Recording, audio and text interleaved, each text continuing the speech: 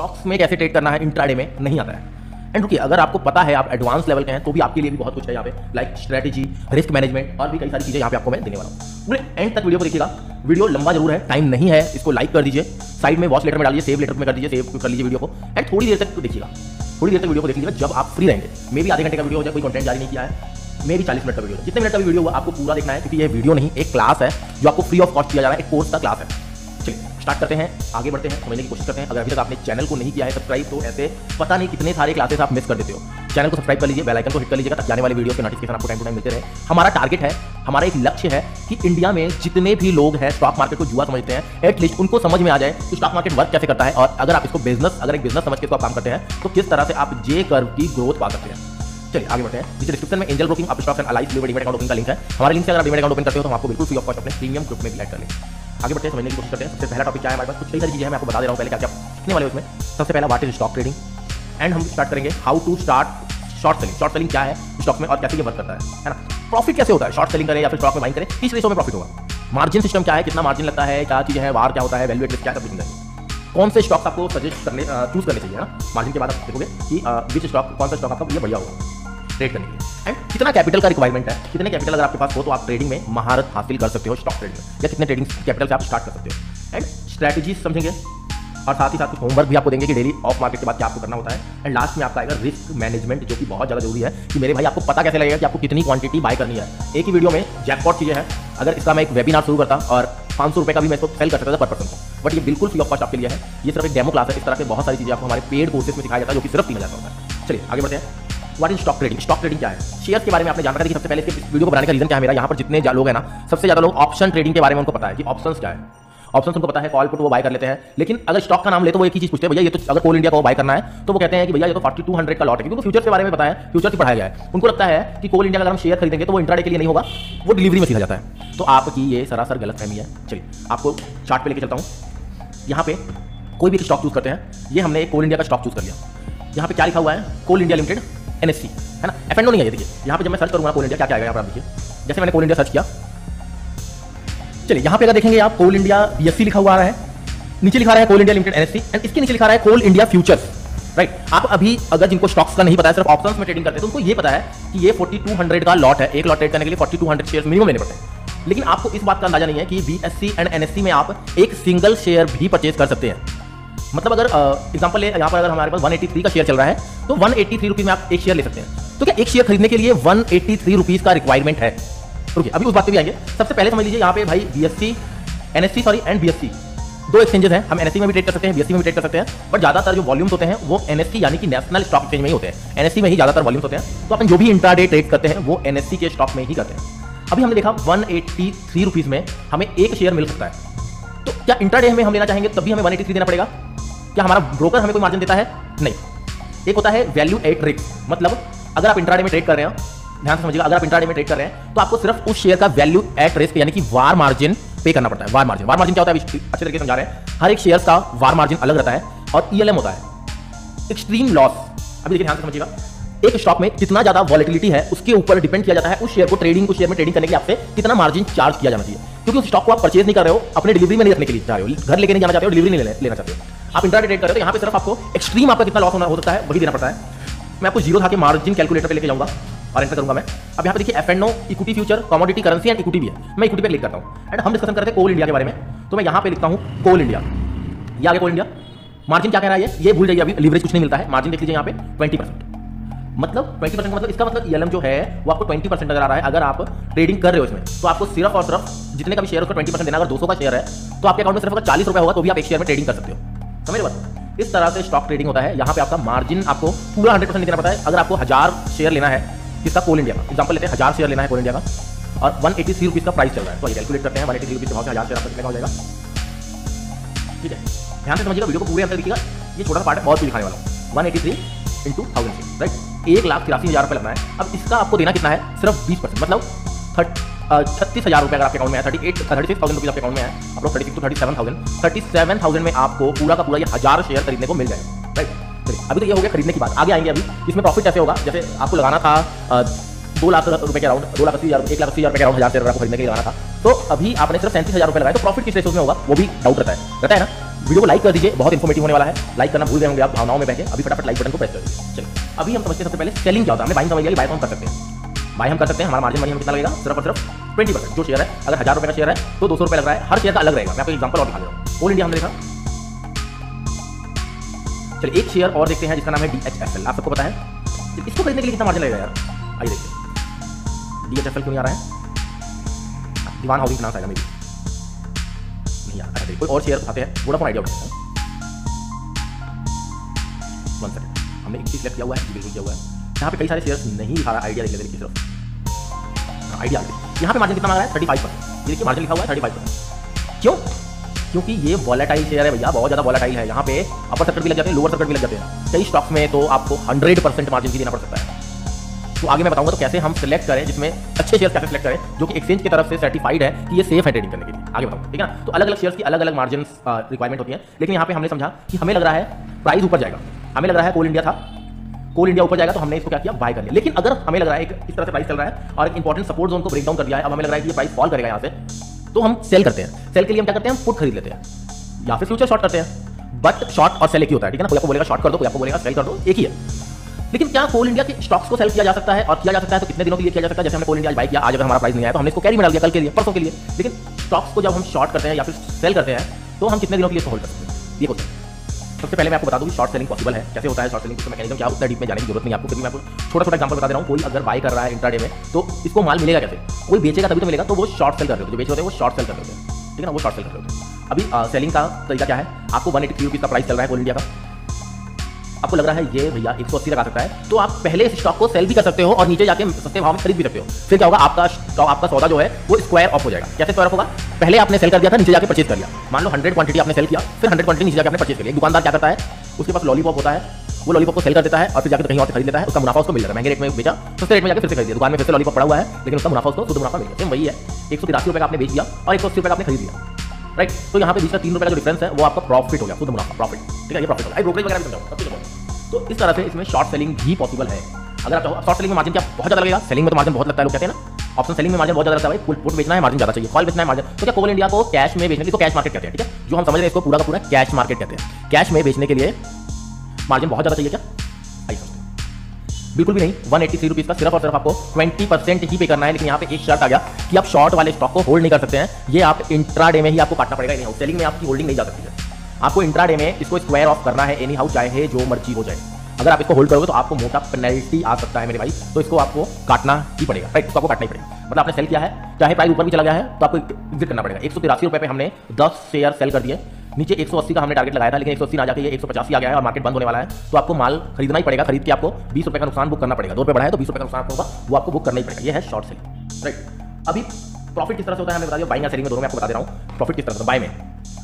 आपने thousand share लिया था कोल इंडिया का, कितने रुपये लगाए थे? सिर्फ़ छत्तीस हज़ार रुपये इस छत्तीस हज़ार रुपये पे अगर हमारा टारगेट पाँच रुपये का है फाइव रुपीज़ का हमारा टारगेट है तो कितना हमें मुनाफा आएगा? हज़ार शेयर है, हज़ार इंटू फाइव इक्वल पाँच हज़ार रुपये ये पाँच हज़ार रुपये का हमारा मुनाफा होगा, चाहे हमारा मार्जिन छत्तीस हज़ार ही क्यों नहीं लगाए। समझ रहे हो? एक लाख अस्सी हज़ार का शेयर था। एक लाख अस्सी हज़ार का शेयर था। हमने सिर्फ़ छत्तीस हज़ार देकर परचेज किया और तभी हमें पाँच हज़ार का ही हुआ। अभी आपके मन में डाउट आ रहा होगा अच्छा ब्रोकर्स तो बहुत अच्छे हैं भाई ब्रोकर्स आपको पैसा दे रहे हैं। नहीं नहीं नहीं। ये सेबी की तरफ़ से ही मार्जिन रूल फिक्स किया गया है। मार्जिन कहते हैं, जब आप ट्रेड कर रहे होते हैं और जो पैसा आपका लगता है, उसको हम मार्जिन कहते हैं। वीडियो में बनाना चाह रहा हूँ कि कौन कौन सी टर्म्स कौन कौन सा लैंग्वेज स्टॉक मार्केट में यूज़ होता है, अगर चाहते हो तो मुझे आपके कमेंट का वेट रहेगा। लाइक ठोक दो। हज़ार से ऊपर लाइक होता है तो इस तरह की क्लासेस हम अपलोड करते रहेंगे रेगुलर अपने चैनल पे। इस तरह की क्लासेस कोई भी टॉपिक हो ऑप्शन हो सेलिंग हो, कोई भी स्ट्रेटजी हो बड़ी बड़ी क्लासेस हम शेयर करेंगे हज़ार लाइक कर दीजिए एंड अगर आपको टर्म्स चाहिए कि कौन कौन सा वर्ड यूज़ होता है स्टॉक मार्केट में उसका मतलब क्या होता है तो ज़रूर आप कमेंट करिएगा। चलिए, आगे बढ़ते हैं। तो यहाँ पे सेबी ने मार्जिन रूल फिक्स किया है और ब्रोकर में कोई बात नहीं आपको इतना ही देना पड़ेगा। हर हर स्टॉक के लिए मार्जिन फिक्स है। अगर आप H D F C bank लेते हैं है। H D F C bank लेते हैं, बहुत सारा शेयर आपको पता है। H D F C bank twenty percent twenty percent ज़्यादा क्यों नहीं है? क्योंकि कम वॉलेटाइल शेयर कम वॉलेटाइल शेयर है इसको आप खरीदने के लिए अगर दो हज़ार का ये शेयर है तो आपको सिर्फ़ और सिर्फ़ चार सौ रुपये ही पे करना है, चार सौ रुपये अगर आपके पास है तो भैया दो हज़ार वाला शेयर खरीद ले सकते हो इंट्रा डे के लिए। अगर आपको इसको डिलीवरी में होल्ड करना है, कोई दिक्कत अभी एग्ज़ाम्पल देता हूँ नोट करिएगा, दिमाग में बैठा लीजिएगा, दिमाग का रिकॉर्डिंग बटन ऑन कर दीजिएगा। नहीं समझ में आ रहा एक बार और वीडियो देखिएगा। अभी अगर आपने, मान लेते हैं कोल इंडिया को 183 पे परचेज किया है, आपका टारगेट ऊपर था, लेकिन मार्केट सारा दिन क्लोजिंग यहीं आसपास कहीं 183 के आसपास दे दिया। आप सोच रहे हो, नहीं यार, इसको हम कैरी करेंगे। कैरी में हम इसको लेके जाना चाहते हैं तो कोई दिक्कत कैरी में लेके जाना है, कोई दिक्कत ले लीजिए। टी प्लस टू में आपको फुल पेमेंट ब्रोकर को करना है। अगर आप फुल पेमेंट ब्रोकर को टी प्लस टू में नहीं करते हो तो भैया आपको यहाँ पे दिक्कत है। वैसे हम ये सजेस्ट करते हैं, अगर आपने प्लान किया है कोई स्टॉक को इंट्रा डे में ट्रेड करने का तो भाई हाथ जोड़ के निवेदन उसको कैरी में मत लेके जाइए। कल क्या होने वाला है, ना आपको पता है, ना मुझे पता है, ठीक है ना? आप उसको मार्जिन में क्लिक करके ले सकते हो। आपको सेम मार्जिन में वही नाइन्टी नाइन रुपीज़ का stock D L F exchange में दिख रहा हूँ यहाँ पे। चार सौ चौंतीस रुपये का है। ये नाइन्टी नाइन रुपीज़ में हमें मार्जिन में मिल जाएगा। इंटरडे में हमें एट्टी सिक्स रुपीज़ का मिल जाएगा। ठीक है? तो यहाँ पे मार्जिन में एंजल में काम करते हैं मार्जिन में सेलेक्ट करके आप मार्जिन में वो स्टॉक को बाय कर सकते हो। टी प्लस टू में यानी तीन दिनों में आपको पूरा मार्जिन पे करना है, अगर इसको आपको होल्ड करना है। मतलब हज़ार रुपये का शेयर है, समझिए ध्यान से। बीस परसेंट मार्जिन है, दो सौ रुपये देकर आपने स्टॉक उठा लिया। अभी आपको दो दिन से ज़्यादा स्टॉक को होल्ड करना है तो आपको बाकी का आठ सौ रुपये भी ब्रोकर को पे करना पड़ेगा। राइट बट मैं यही कहूँगा कि इंटरडे में सोचो तो मेरे दोस्त, मेरे भाई इंटरडे में ही ट्रेड करना। मार्जिन सिस्टम क्या है, आपको समझ में आ गया? मार्जिन सिस्टम क्या है, आपको समझ आ गया? अब इंटरडे के लिए स्टॉक्स कौन से सिलेक्ट करें मेरे भाई? और कैसे सिलेक्ट करें? ये क्वेश्चन है ना? पहले अपन ऐसे करते हैं। पहले कौन से स्टॉक सिलेक्ट कर ले, समझ लेते हैं। एंड समझ लेंगे, उसके बाद फिर कितना कैपिटल रिक्वायर्ड है, कितना पैसा होना चाहिए आपको इंट्राडे में ट्रेडिंग स्टार्ट करने की स्टॉक में। आपने चार्ट को आइडेंटिफाई पर लेवल को आइडेंटिफाई करना सीख है। अभी कितना पैसा आपके अकाउंट में होगा तो आप इंट्राडे में ट्रेड कर सकते हो वो सबसे पहले समझ लेते हैं। कि कौन सा स्टॉक सिलेक्ट करें। स्टॉक की अगर हम बात करें तो मेरा जो आपको सजेशन है वो निफ्टी के निफ्टी हंड्रेड में से निफ्टी के हंड्रेड निफ्टी फिफ्टी होता है बोलेंगे निफ्टी हंड्रेड कहाँ तक है? Nifty fifty and Nifty next fifty ये स्टॉक में से आपको सारे स्टॉक चूज़ करने हैं जो कि अच्छे हैं। नहीं पता कौन सा है मैं बताता हूँ। आसान है एनएससी की वेबसाइट पे जाइए। अभी देखिए, अभी देख पा रहे हो आप यहाँ पे एक पेज हो गया एनएससी की वेबसाइट पे हम कहाँ गए मार्केट डाटा पे गए and equity and SME market पे सिलेक्ट कर लिया यहाँ पे देखिए ड्रॉप डाउन है, यहाँ पे Nifty fifty Nifty next fifty Nifty mid cap fifty Nifty mid cap hundred यहाँ पे सारे शेयर है निफ्टी फाइव हंड्रेड भी होता है, ये देखिए मल्टी कैप स्टॉक होते हैं, वो देख सकते हो large cap mid cap stock होते हैं लार्ज मिड कैप स्टॉक वो देख सकते हो। फिर सेक्टोरियल वाइज भी यहाँ पे आ है कौन कौन सेक्टर इसमें काम कर रहे हैं सेक्टर वाले स्टॉक भी यहाँ मिल जाएँगे। थीमेटिक थीम के ऊपर Nifty commodities Nifty India consumption फिर यहाँ पे स्ट्रेटेजी इंडाइजेस यहाँ पे ये भी मिल जाते हैं, ठीक है लो वॉलिटी कौन सी है? हाँ डिविडेंड अपॉर्चुनिटी कौन सी है? बहुत कुछ यहाँ पे कभी एनएससी की वेबसाइट को पूरा खंगालिए मेरे भाई, आपका होमवर्क है एनएससी की पूरी वेबसाइट को खोलकर भी जाना है। एक एक चीज़ एनएससी में क्या क्या है खोल के देखना यहाँ पे मार्केट डाटा पे गए। यहाँ पे कितने पॉइंट है, मैं गारंटी के साथ कहता हूँ, चाहे आप प्रो भी हो स्टॉक मार्केट को पूरा खोल कर पिया हुआ है, लेकिन एनएससी की साइट पर क्या क्या है, आपको पता ही नहीं।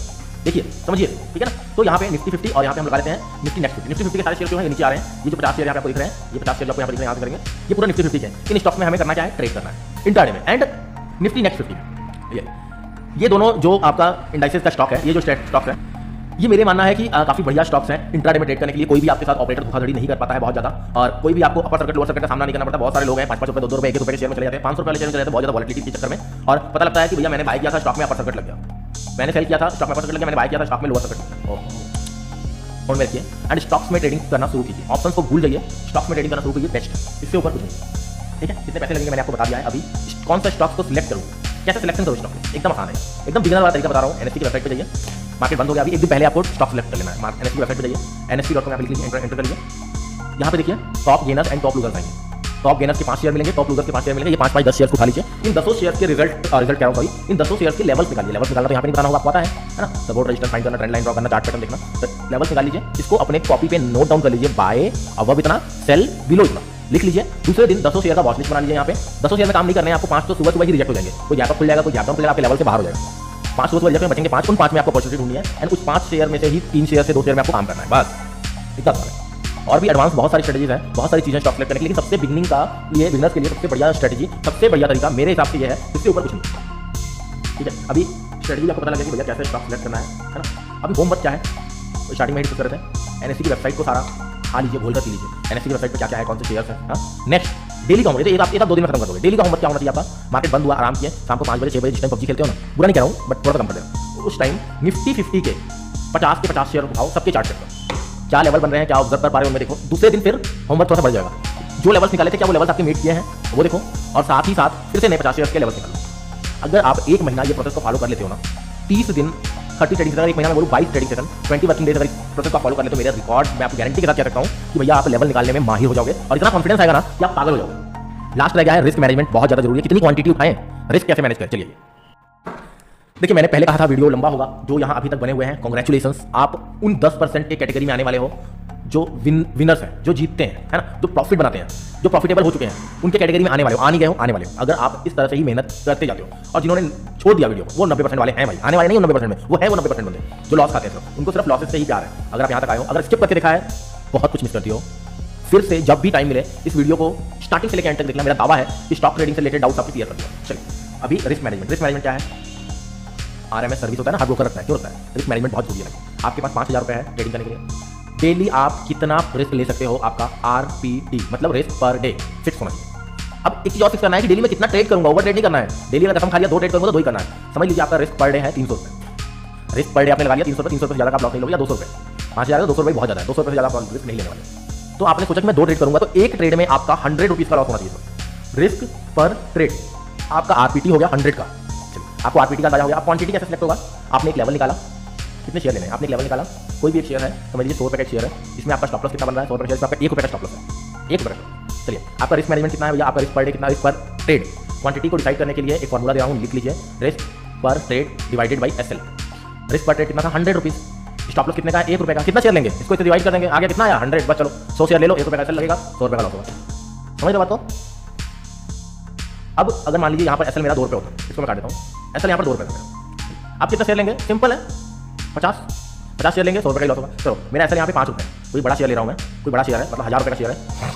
हज़ार रुपये शेयर में पाँच रुपये का मेरा एस है। सौ रुपये का मेरा, है रिस्क रिवॉर्ड रेशो एक दिन का सॉरी एक दिन का मेरा रिस्क पर risk per trade risk per day नहीं लिखना है risk per trade divided by S कितना बीस। कितना लेंगे? बीस शेयर हाँ बीस शेयर लेंगे। हज़ार रुपये वाला बीस शेयर लेंगे सिंपल, सुधरा, साफ़। वीडियो कैसा लगा कमेंट करके बताइएगा। इस तरह से अगर अपने रिस्क को मैनेज करके चलते हो रिस्क पर डे कितना होना चाहिए, पता होना चाहिए। रिस्क पर ट्रेड कितना होना चाहिए, पता होना चाहिए। ओवर ट्रेडिंग को कर देना है बाय बाय साइकोलॉजी सीखनी है माइंडसेट सीखना है, सब कुछ पता है, लेकिन लॉस हो रहा है, बहुत आसान है। सिखा देंगे, बहुत ज़्यादा आसान है। क्या, कैसे आसान है? हमारा मेरे भाई एक प्रोग्राम है, सिर्फ़ फोर नाइन्टी नाइन रुपीज़ का, जिसमें हम आपको साइकोलॉजी सिखाते हैं। जैसे आप फोर नाइन्टी नाइन पे करोगे, आपको रिकॉर्डिंग मिल जाएगा। चार घंटे का फोर आवर का वीडियो है। फोर आवर की वीडियो में आपकी माइंड को इस तरह से ट्रेन किया जाएगा कि आप अपने लाइफ में कभी नहीं सोचा होगा कि इस तरह की चीज़ें सीखने को मिलेंगी। नंबर वही है। इस नंबर पे four ninety nine rupees Google pay कीजिए। तुरंत आपको लिंक मिलेगा व्हाट्सअप पे ही। जैसे ही आप गूगल पे करोगे गूगल पे करके आप स्क्रीन शॉट भेजो व्हाट्सअप पे, हमें इसी नंबर पे सेम व्हाट्सअप पे स्क्रीन शॉट आते आपको रिकॉर्डिंग मिल जाएगा। चार घंटे का वीडियो दस बार देखिए, पचास बार देखिए, पाँच सौ बार देखिए आपके पास ही रहने वाला है। और ट्रेंड हो जाएगी क्या सिखाया जाएगा उसमें? साइकोलॉजी सिखाया जाएगा। प्राइस एक्शन सिखाया जाएगा। हाँ बिल्कुल। एंड बहुत ज़्यादा ज़रूरी रिस्क मैनेजमेंट को, ये तो छोटे लेवल में बताया गया तो कुछ भी नहीं बताया इसको अच्छे तरीके से बताया जाएगा। सबसे बड़ी चीज़, वो नब्बे परसेंट लोग क्या करते हैं, जो आप अगर इस चीज़ को करने से बच जाए तो आपको लॉस नहीं होगा। अगर ये चीज़ आप सीख लिए तो भैया पैसा ही पैसा है। चलिए थैंक यू यार थैंक्स फॉर वॉचिंग दिस